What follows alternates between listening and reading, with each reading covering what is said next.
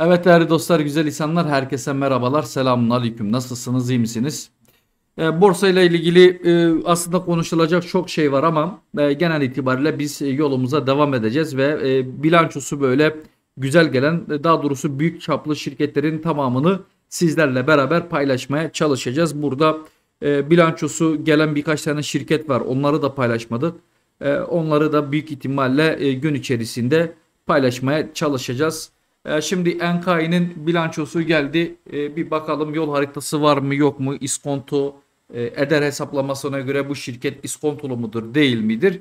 E, bunu e, göreceğiz. Şimdi satışlarına baktığımızda %24'lük bir artış var. Değerli dostlar bu kasasında ya da bilançosu e, döviz ağırlıklı olduğu için para cinsinden döviz ağırlıkta bilanço gönderen şirketlerin e, enflasyon muhasebesi tutulmuyor. Aslında şöyle de bir şey diyebilirsiniz. Yani enflasyonun üstünde bir getiri elde etmiş yani satışlarda.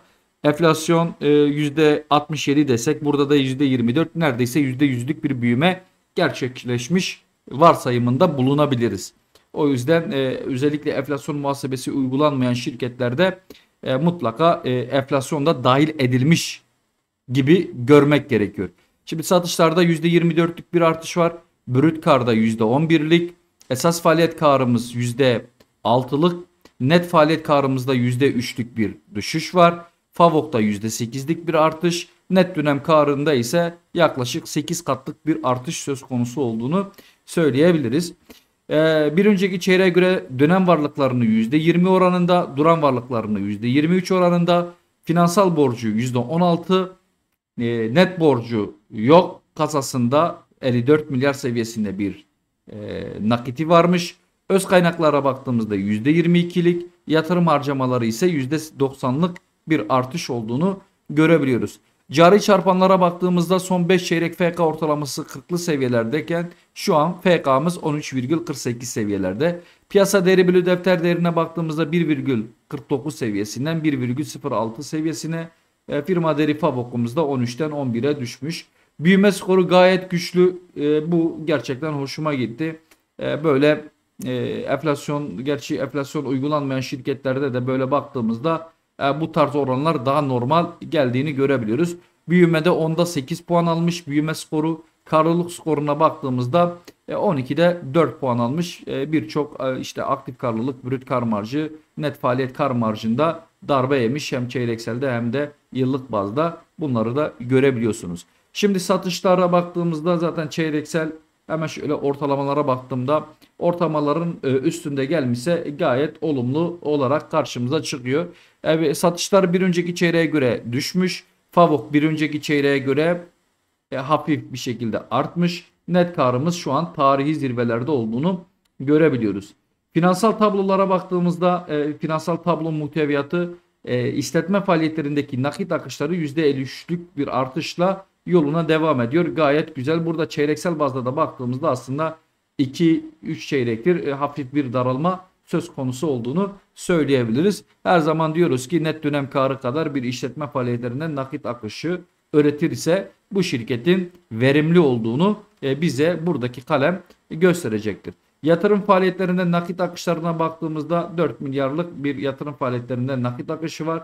Yani şirket zaten burada da gördüğünüz gibi yatırımlara gittiğini görebiliyoruz. Finansman faaliyet nakit akışları %19'luk bir artış söz konusu. Ertelenmiş vergi gelir giderine baktığımızda daha önce 350 milyon seviyesinde ertelenmiş vergi gideri varken şu an yaklaşık 400 milyon seviyesinde ekstradan bir ertelenmiş vergi geliri hanesine yazılmış. Sürdürülen faaliyetler vergi gelir giderine burada da yaklaşık 3 milyar 600 milyon seviyesinde bir ertelenmiş vergi gideri söz konusudur.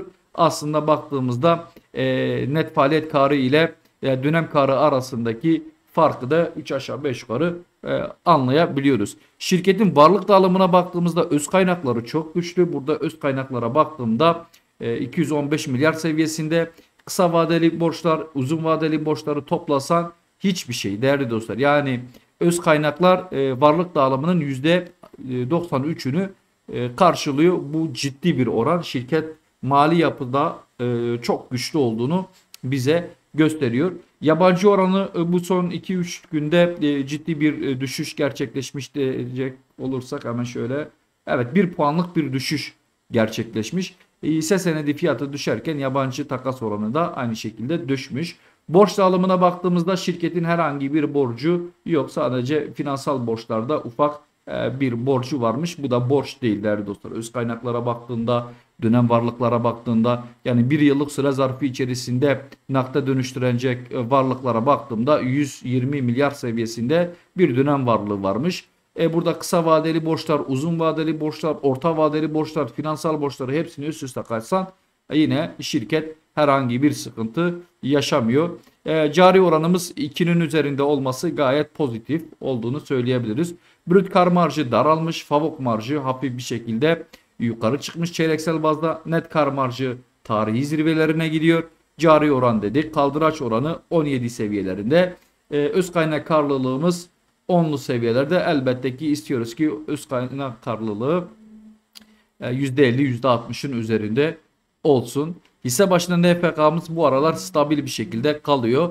Hisse başına karımıza baktığımızda tarihi zirvelerde 2,82 seviyesinde işletme faaliyetlerinde de yine az buçuk değdik. Şirket büyüktür. 514 e, milyon e, lotu varmış.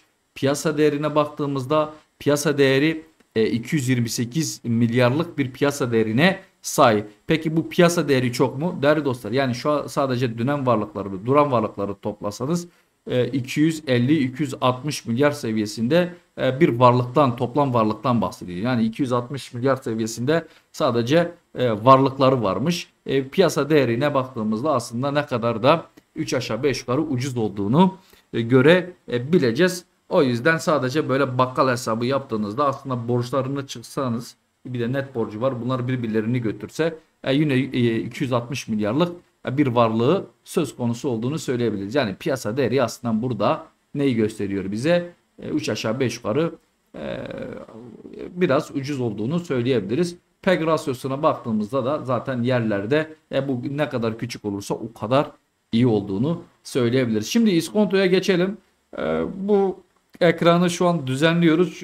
Sitenin içerisine entegre etme çalışacağız. İnşallah e, bunu da çok yakın zaman dilimi içerisinde paylaşmaya çalışacağız.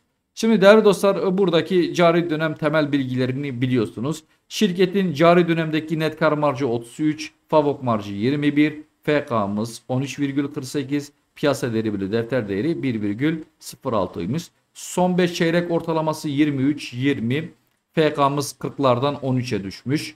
E, piyasa değeri bölü defter değeri 1,50'den 1,06 seviyelerine düşmüş. Sektör ortalamalarını görüyorsunuz. Sektör ortalamalarına göre de aslında e, net kar marjı, favok marjı 3 aşağı 5 yukarı hemen hemen e, yine sektör ortalamasının üstünde olduğunu söyleyebiliriz. Öz kaynak piyasa değerimiz e, burada e, 138 milyar seviyesinde değil arkadaşlar. Burayı yapmadık. Niye yapmadık?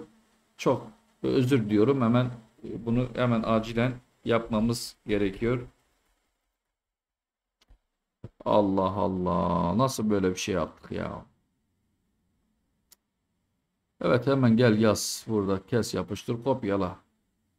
Bunu yapmadık. Bunu yapmadığımız için de maalesef iskontomuz değişecektir. Ee, 30 milyar 30 799 doğru mu? 733 1 2 3 doğru mu? Doğru.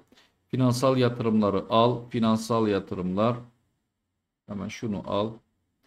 43 950 0 59 1 2 3 artı finansal yatırımlar başka var mı? Finansal yatırımlar başka finansal yatırımlar finansal yatırımlar burada da 57 930 bunları hepsini yazalım ki bir bakalım öz kaynak piyasa değerimiz kaç çıkıyor.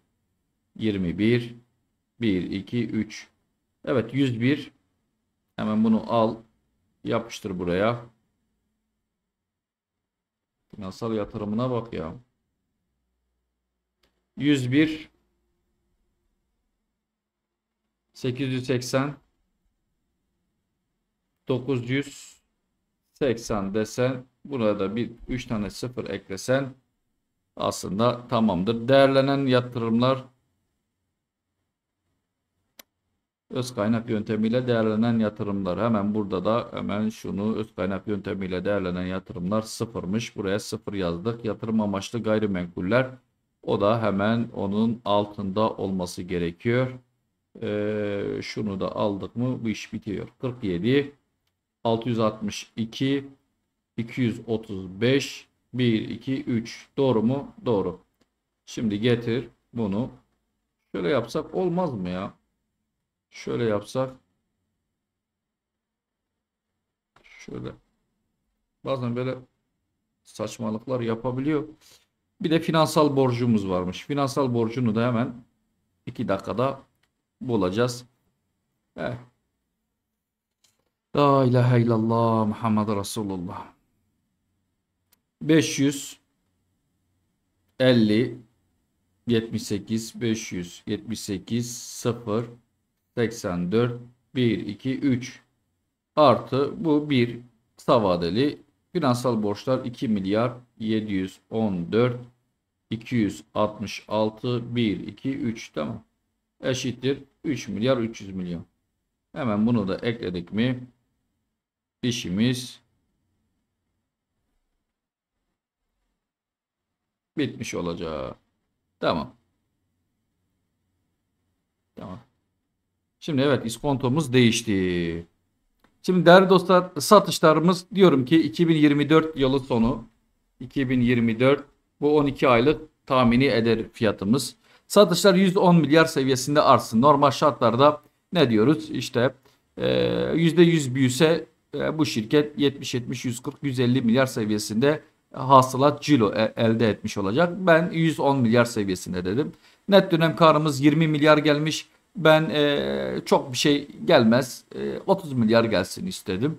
E, Favok marjımızı 15 milyarmış şu an itibariyle. Ben yıl sonu içinde 2024'ün yıl sonu için 20 e, milyar seviyesinde yaptım. Yani çok muhafazakar davrandım. Çok böyle alt kademeleri koymaya çalıştım. E, bu veriler ışığında baktığımızda değerli dostlar 1, 2, 3, 4 pardon 1, 2, 3, 4 farklı yöntem e, ve burada 8 tane değerleme var.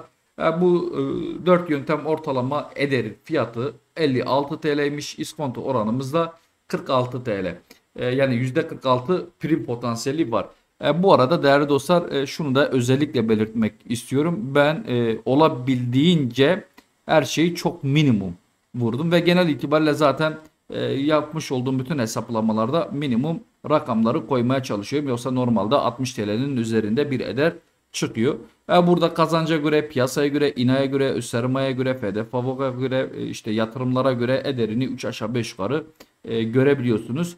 E, ve e, bu şirketin de önümüzdeki zaman dilimi içerisinde hedef fiyatına gideceğini düşünüyoruz. Umarım da gider. Tabi bunlar yatırım tavsiyesi değildir. Al sat tut tavsiyesi hiç değildir.